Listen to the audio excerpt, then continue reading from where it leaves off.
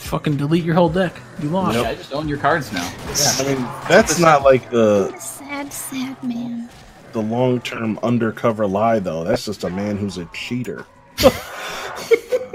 Right? That is so sad. That was a good card. Yep. So, is that it? Is that it for the today? I guess so. Yeah. And goodbye. Ah, bye bye.